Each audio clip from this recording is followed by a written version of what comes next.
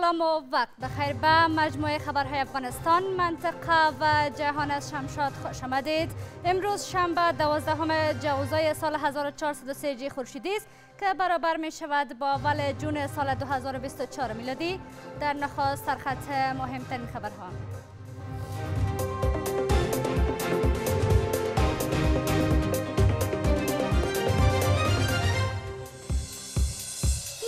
آمریکا بابت افزایش تهدیدات امنیتی از پاکستان و افغانستان اما کابل با رد این ادعا اطمینان می‌دهد که در حال حاضر در سراسر کشور امنیت تامین است. نگرانی روسیه نسبت به وضعیت کنونی افغانستان اندری بیلوسوف گفت افغانستان منبع بی‌ثباتی در آسیا میانه است. کشته و زخمی شدن هفت نظامی پاکستان بر اثر انفجار ماین در ایالت خیبر پشتونخوا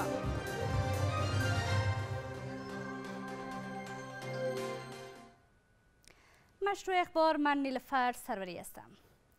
انستیتوت صلح آمریکا نسبت به افزایش تهدیدات امنیتی از پاکستان و افغانستان نگرانی ابراز کرده است. کارشناسان این انستیتوت می‌گویند که بر اساس تحقیقات تهدیدات امنیتی از افغانستان و پاکستان علیه سایر کشورها در حال افزایش است. اما کابل با رد این ادعا اطمینان می‌دهد که در حال حاضر در سراسر کشور امنیت تامین است و هیچ گروه تروریستی که به منطقه و جهان تهدید ایجاد کند در افغانستان حضور ندارد. کارشناسان انستیتوت صلح امریکا از احتمال افزایش تهدیدات امنیتی از خاک پاکستان و افغانستان علیه کشورهای منطقه و جهان ابراز نگرانی کردند. بعد تازگی کارشناسان انستیتوت صلح امریکا گفتند که تهدیدات امنیتی از خاک افغانستان و پاکستان با گذشته هر روز در حال افزایش است.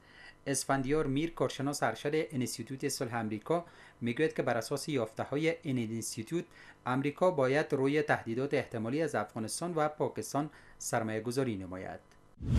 تهدیدات تروریستی از پاکستان و افغانستان سرچشمه می‌گیرند. امریکا به جای مبارزه با تروریسم در منطقه تمرکز خود برای تقابل با چین و روسیه را بیشتر کرده است. هرگاه در منطقه برای جلوگیری این بخش هزینه نشود و از متحدان حمایت نشود ممکن امنیت داخلی امریکا تهدید شود. او ضمن پاکستان کې چې کوم مسایل دي دوی داخلي مسایل دي چې هغه ته سرماچاران او یو انقلاب راولي او د نظامیګر حکومت چپکی دته اختشاش ویل کېږي د یعنی ټي ټي پی هم له پاکستان نه بهر کوم پلان نه لري او د افغانستان خاوره هیڅ وخت د نورو هیوادونو پر ضد کارول شوې نه ده او نه به اوس وکارول شي بنان دا څېړنه د امریکا د انسټیټیوټ له حقیقت نه لري ده اما حکومت سرپرست با رد این ادعا می‌گوید که هیچ گروه تروریستی در افغانستان حضور ندارد و تأمین امنیت کنونی در کشور را نسبت به چند دهه گذشته بیمانند می‌خواند. مقام ها می‌گویند که تنظیم کننده های گروه داعش در سایر کشورها حضور دارند و از این کشورها می‌خواد تا در مقابل این گروه اقدامات جدی نمایند. په افغانستان کې اوسنۍ امنیت چې د اسلامي امارت د امنیتي ځواکونو د هڅو له امله تامین شوی په تیرو څلويختو کالونو کې بې سابقه دی. ټول ولس د دې شاهد دی. د داعش د ډلې تنظیمونکي اوس په نورو هیوادونو کې میشت دي. باید په دې برخه کې ټول هیوادونه او جهتونه خپل مسؤلیتونو ته متوجي شي او په سیاسي بنیادونو ل راپور جوړولو څخه ډډه وکړي کارشناسان نظامی اظهارات کارشناسان انستیتوت صلح آمریکا درباره افزایش تهدیدات امنیتی از افغانستان را غیر منصفانه می‌خوانند و تاکید دارند که افغانستان همواره قربانی گروه های تروریستی پرورش یافته سایر کشورها بوده است. این کارشناسان می‌گویند برعکس افغانستان مراکز آموزشی گروه های تروریستی در پاکستان است و از سوی حکومت پاکستان حمایت مالی نیز می‌شوند تا به گفته آنان در منطقه زمینه یک بیثباتی دیگر مساعد شود. آنان درخواست دارند تا شورای امنیت سازمان ملل فشارها بر پاکستان را بیشتر نماید تا علیه گروه های تروریستی مبارزه جدی نماید. غربي نړۍ په سیمه کې بل خصوص په پاکستان کې او د پاکستان د استخباراتو او د جنرالانو په واسطه د تروریستي ګروپانو د جوړولو کې دوی ډیر لوی لاس او د دوی اقتصاد وو چې دغه تروریستي ګروپان دلته په دې سیمه کې جوړ شول. پاکستان ستراتیژي په دغه سیمه کې د ناامنیو د مختوړلو او د همدغه تروریستي ګروپانو له ادرسه ش د ش اقتصاد د لاس راوړلې لپاره دوی کارولې ده او کاروي این در حال است که وزیر دفاع روسیه ادعا کرده است که گروه های مسلح در افغانستان جابجا شدند و به همین دلیل مسکو مجبور شده تا در کنار تقویت سرحدات تاجیکستان گام های برای ثبات منطقه بردارد. اما برعکس کابل ادعای بازداشت شماری از کسان را مطرح نموده که از بیرون کشور آمدند و پلان انجام حملات در خاک کشور را داشتند. وزیر دفاع روسیه از وضعیت کنونی افغانستان نگرانی ابراز کرده سندری بیلوسوف گفته افغانستان منبع بی‌ثباتی در آسیای میانه است و ادعای موجودیت گروه های افراطی در افغانستان را نیز مطرح نموده است. و افزوده است با توجه به وضعیت کنونی افغانستان نیاز است امنیت سرحدات تاجکستان با افغانستان تامین گردد. اما حکومت سرپرست افغانستان اطمینان داده که خاک افغانستان علیه هیچ یک از کشورها استفاده نخواهد شد. اظهارات تازه مقام های روسیه و اختلاف نظر در دیدگاه های آنان. در حالی که ولادیمیر پوتین رئیس جمهور روسیه هفته گذشته امارت اسلامی را قدرت واقعی افغانستان خوان و از تصمیم کشورش برای بیرون کردن نام امارت اسلامی از لست سازمان های تروریستی این کشور خبر داد اما تازه وزیر دفاع روسیه در نشست وزیران دفاع سازمان پیمان امنیت جمعی در قزاقستان نسبت به وضعیت کنونی افغانستان ابراز نگرانی کرده است. اندری بلیسوف گفته است خطر گروه های مسلح و تروریسم در منطقه در حال افزایش است و افغانستان را منبع بی‌ثباتی در آسیای مرکزی خوانده است. وضعیت افغانستان ضرورت تأمین امنیت سرحدات تاجکستان با این کشور و اقدامات برای تأمین ثبات منطقه را نشان می دهد. افغانستان منبع اصلی وضعیت بی‌ثباتی در آسیای میانه است. شمار از گروه های افراطی در آنجا جابجا شدهاند و برای ترویج افکار خود در کشور همسایه تلاش جدی دارند. ثبات منطقه به نظارت دوامدار و اقدامات جدی نیاز دارد. اما امارت اسلامی با رد این نگرانی ها میگوید که به هیچ کس اجازه نمیدهد تا خاک افغانستان را علیه سایر کشورها استفاده نماید. دا اندېښنه په ځای نه ده. تاسو پیږئ چې نږدې درې کاله کې اسلامي امارت دلته حاکم دی. هیڅ هیواد ته افغانستان ستونزه نه ده پېښ شوې. دلته د امنیت او اطمینان په اړه باندې ټول نړۍ شاهده ده. بل دا چې په افغانستان کې هیڅ بهرنۍ ډله او ګروپ او باند وجود نه لري او نه د فعالیت اجازه لري طيب دا د افغانستان اسلامي امارت ستراتیژي دا ده چې افغانستان خاوره د چا په وړاندې استفادې ته اجازه نه ورکوي او څلورم دا چې افغانستان اسلامي امارت په ټوله خاوره باندې واکمن ده او قابض ده. نو دغسې اندېښنې ښودل او هغه هم چې بې له شواهدو نه وي بې له کوم دلیل نه وي. فکر کوم هسې یو تشویش ده باید دا تشویش رفع سي. اسلامي امارت په دې اړه باندې ډاډ ورکړی باید باور نظریات از هم متمایز مقام های روسی مورد است که سیاست روان و روابط کشور مذکور را در رابطه به افغانستان زیر پرسش قرار داده است. در کنار اظهارات یاد شده وزیر دفاع روسیه نماینده خاص روسیه برای افغانستان به تازگی گفته این برای کشورش خیلی مهم است که امارت اسلامی بالای افغانستان کنترل مطلق داشته باشد و همچنان ویرانی افغانستان را به سطح منطقه یک ضرر بزرگ خوانده است. روسیه بدین نظر است. روسیه بدین نظر است که برای طالبان خیلی مهم است که بر افغانستان کنترل مطلق داشته باشند. این برای ما اهمیت بسزای دارد. ویرانی و پارچه شدن افغانستان با واکنش های منفی گسترده در منطقه روبرو خواهد شد. روسیه د دفاع وزیر وایي چې په افغانستان کې ترګری دلیستا او دلته د افغانستان د سرحدات سره دوی خپل خواوې ځای پر ځای کی دا په دې معنی نه دی چې په افغانستان کې واقعا دلته ترګری ډلې فعال دي. سم تاسو اوریدلی چې طالبان همیشه دا ویلي دي چې موږ دلته نه پرېږدي فعالیتو کې آزادانه او بل چا پر ضد باندې دا استعمال شي. خو خامخا دلته امریکا اتمن په دې هڅه کوي چې څنګه د منځنۍ اسیا هیوادونه وګواخي او ترګر ډلې الته واستوي او روسیه جنجال سره مخامخ کی د روسیې د بهرنیو چارو وزارت د روسیې د پالیسۍ جوړونې او د نړیوالو اړیکو مسولین هغوی په دې باور دي چې اسلامي امارت له چارواکو سره باید مثبتې اړیکې هغه ورغول شي پراخې شي ژورې شي ولې په نظامی برخه کې استخباراتي برخه کې روسیه لا هم ځینې ستونزې مشکلات له سیمې او دارنګه اسلامي امارت له اوسني وضعیت سره لري په دې معنا چې دوی په سیمه کې ویره لري چې لا هم ترهګري او دغه توندلارې ډلې هغه ژورې ریښې لري او دا کولی شي اسلامي امارت د غیر رسمي موجودیت له وجې نه پراخې شي له دې خاطر هغوی د احتیاط غوښتنه کوي امارات اسلامی همواره تاکید کرده که خواستار روابط مثبت استوار بر احترام متقابل و اقتصاد محور با تمام طرفها می باشد و تاکیدگونه می‌گوید هیچ کس نباید از خاک افغانستان حراس داشته باشد این در حال است که همین هفته گذشته ولادیمیر پوتین روی نیاز تامل و برقراری روابط با امارات اسلامی افغانستان تاکید کرده و مشخص ساخته که به گفتهش طالبان بر افغانستان حاکمیت دارند و کشور را کنترل می کنند. افغانستان در جمع کشورهای نیست که میلیون ها اتباعان بر اثر جنگ و خشونت ها مجبور به ترک مکانهای خود شده باشند. بر اساس تحقیقات تازه کمیشنری عالی سازمان ملل افغانستان امسال در جمع کشورهای شامل نشده که اتباعان بر اثر جنگ خشونت و آزار اذیت خانه و کاشانه خود را ترک کرده باشند. از سوی دیگر کارشناسان می‌گویند در داخل افغانستان با بیجا شدگان و عودت کنندگان کمک های کافی صورت نگرفته و روی همین دلیل وضعیت بشری در این کشور دشوار شده است. افغانستان در سال 2024 از جمع کشورهای بیرون شده است که اتباع آن بر اثر جنگ و خشونت مجبور به ترک خانه و کاشانه خود شده باشند. کمیشنر عالی سازمان ملل در امور مهاجران می‌گوید که در سال 2024 در جهان حدود 114 میلیون تن به مهاجرت مجبور شدند. او از سودان، سوریه و میانمار به عنوان کشورهایی یاد کرده که به گفته او حدود 20 میلیون تن از این کشورها به دلیل جنگ‌های داخلی مجبور به مهاجرت شدند. بر اساس آمار تازه در جهان حدود 114 میلیون تن به دلیل جنگ، خشونت و آزار و اذیت مجبور به ترک جاهای خود شدند.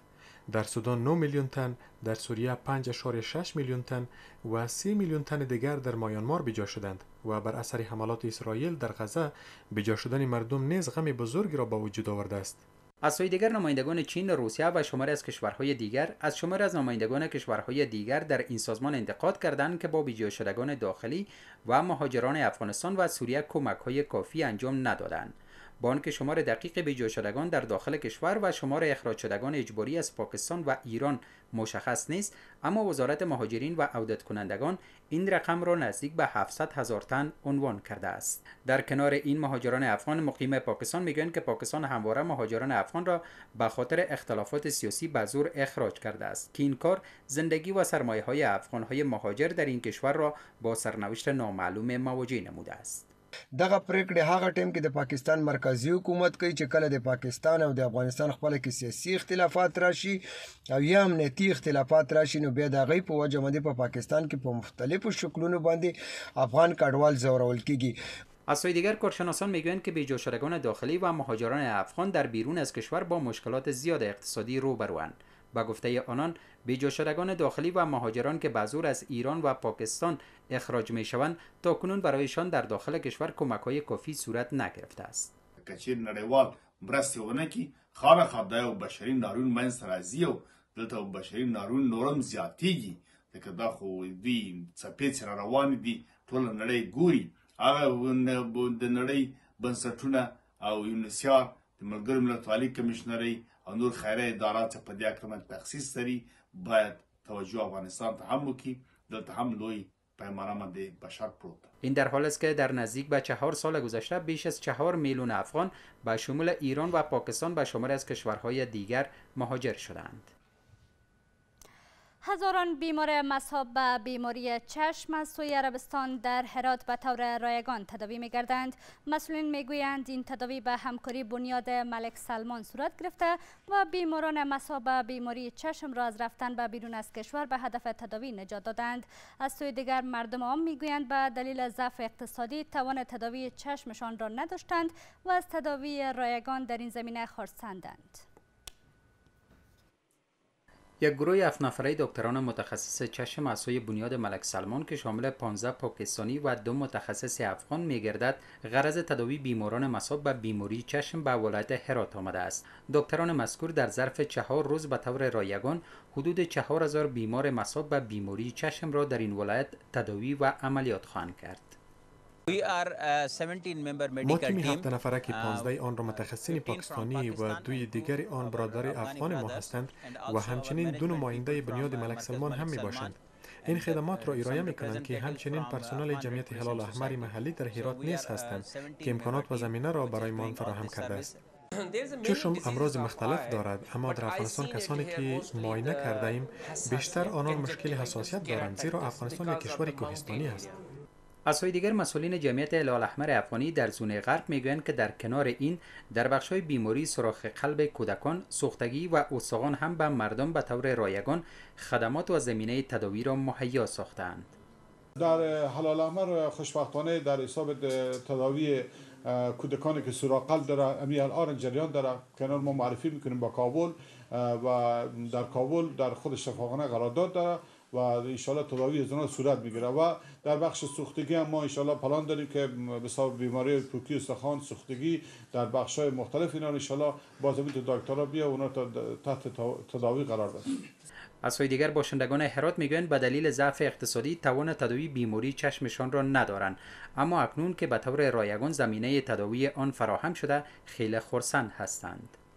مردم بیوزایت هم قوت ندارم توانا ندارم که مثلا چی شد تداوی کنم. من خود من تقریبا یک کارگر آدمم. اصلا نمی‌تونستم که عمل کنم. چرا قوت نداشتم؟ حالا که بیام خدا این رو خیر بده خوب نتیجه خوبی هم بده فعلا که نتیجه داده ولی که حد شفاف می‌بینم. چرا دیوار خوب؟ دیگه خیر بینم کمی همکاری خود مردم غریب بیچاره بکردم ما اکثر میت چشمانو ناقص مثلا هست دعوت کنم که بازم بیا مثلا عملیات تشکیل بدم. مردم بدبخت که چیزی نداره. همین که میان میگم مثلا خیلی کمک کنم با گفته دکتران بلند رفتن سن و عوامل محیطی دلایل عمده دچار شدن افراد به امراض مختلف چشم می باشد که با آن دید و نور چشمان هم کاهش می یابد و آنان در کنار تداوی آن به طور رایگان برای بیماران عینک نیز توضیح می کنند.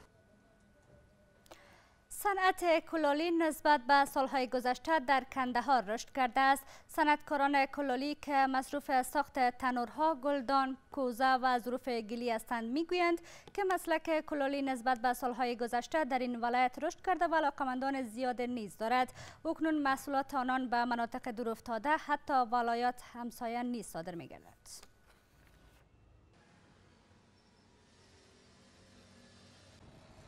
دغه شان چې په دې کې موږ اول د وره تنور دی چې جوړوي خوم دی د اوبو منګیان دي دا شرنګه سامان دي او نور دا فرمایشي شان چې موږ هغه جوړو او دا نور ولایتو ته یوازې د کندهار نه بلکې نور ټول ولایتونو ته دا شان صادریږي. او در په خوا در وخت د موږ صادرات دي دا ټول پرمختګ کړی دي او ټول خلک په دغه باندې اختصي وي چې دغه شان دغه څخه ګټه پورته کړي. سلويش کال کې زما عمر 15 سلويش کال دي چې په دغه کسب کې را لیسه وم پلار او مشران او ټول د کسب کړی دي او زم په دغه باندې اخته یم. زه د خلکو د پاره خدمت کوم بیا کوم بیا کوم. د هغه وخت چې څو موږ ونجي نو موږ د خلکو لپاره د خدمت کوو د منګیان جوړو د کولالي کار په مخه خسي په جې کې رنگ رنگ کسبونه سته شل رقم شیان سته یعنی در 50 رقم تولید هم ډیر دي په دې تولیداتو کې موږ تنور لرو خوم لرو منګیان لرو کوزي په منګیان کې قسم قسم شکلونه ست چې دغه منګیان کوزي چې کونجي او رنګالو شي پیالې یعنی دا په دې خاطر خلک خوشي چې د دې خلک ډېر شوقیان دي او د ریواج څخه هم خلک خوشي چې په دې کې او به هم شخون کوي په کاسو کې شوروا شلومبیا هم شخون کوي. تنور دی تنور د دې لپاره دی خلک ډوډۍ پر پخې او خلک یو لیرو پروتو سیمه ته وړي. دا منګیانو شوالي دغه دی چې ششه یې یخي وبلري هو همیشه پلارو د نیکه سره دغه موږ ته راپاته دي. ډېرې ښایستې اوبه یې ښیي د دې ښایسته ښوالی د هغه دی د نورو خلکو څخه هم توجه ده چې داسې هر مسلمان هر ورور راسي چې دغه کنجان یې رانیسي کله نن چې ما رانیولې دغه یې وده نه ما خپله رانیول خپل مور و پلار ته یې وړم چې ښه ښایستې یخې اوبه ولري. حال هم فشرده چند خبر مهم. بر اثر غرق شدن یک کشتی در ولایت ننگرهار از میان افراد غرق شده جسد هشتن یافت شده است. در نتیجه غرق شدن یک کشتی در آبهای ساحه باسول از مربوطات ولسوالی مهمندره این ولایت تا کنون جسد هشتن یافت شده است. منابع محلی می‌گویند از محل رویداد به کلینیک صحی مهمندره 11 زخمی منتقل شدند. به گفته منابع در این رویداد هنوز هم ده تن ناپدید هستند که تیم های نجات مصروف عملیات برای پیدا نمودن آنان در ساحه می باشند قبل از این مسئولین ولایتی مرگ 20 تن را در این رویداد تایید کرده بودند. حامد کرزی رئیس جمهور پیشین کشور بابت تلفات وارد شده جانی به دلیل غرق شدن کشتی در ولایت ننگرهار ابراز تاسف نموده است. کرزی طی یک بیان مراتب همدردی خود را با خانواده های قربانیان رویداد مذکور ابراز کرده است. در همین حال ضیاءالحق امرخیل والی پیشین ننگرهار رویداد غرق شدن کشتی را در ولایت ننگرهار دردآور و تراژدی خوانده است. امرخیل در کنار ابراز تسلیت با خانواده های قربانیان ابراز امیدواری کرده است که به زودی افراد ناپدید شده در این رویداد پیدا شوند. تاجیکستان و قرقیزستان پلان انتقال برق از راه افغانستان به پاکستان را دارند. بر اساس گزارش رسانه ها وزارت انرژی قرقیزستان تا سال 2035 مطابق به برنامه ملی انرژی پروژه انکشافی این کشور قرقیزستان و تاجیکستان هر دو در سال آینده به پاکستان برق را صادر خواهند کرد. بر اساس گزارش صفحه وب تایمز آسیای میانه این پلان تا سال 2035 میلادی بخشی از برنامه ملی انرژی قرقیزستان خواهد بود. حاکمیت امارت اسلامی بالای افغانستان به نفع روسیه است. زمیر کابلوف نماینده خاص روسیه برای افغانستان می‌گوید کنترل مطلق امارت اسلامی بالای افغانستان برای روسیه حائز اهمیت می باشد بر اساس گزارش آژانس خبری تاس کابلوف اضافه کرده که هر نوع تحول افغانستان به منطقه واقع منفی را در پی خواهد داشت. کابلوف بدین باور است که روسیه می تواند تا در بخش صادرات نفت و همچنان مسئولیت مواد خوراکی با افغانستان همکاری نماید. سرویس خبری ما در اینجا به پایان می‌رسد. سپاس شما و همکارانم. وقت بر شما خوش خدا نگهدار.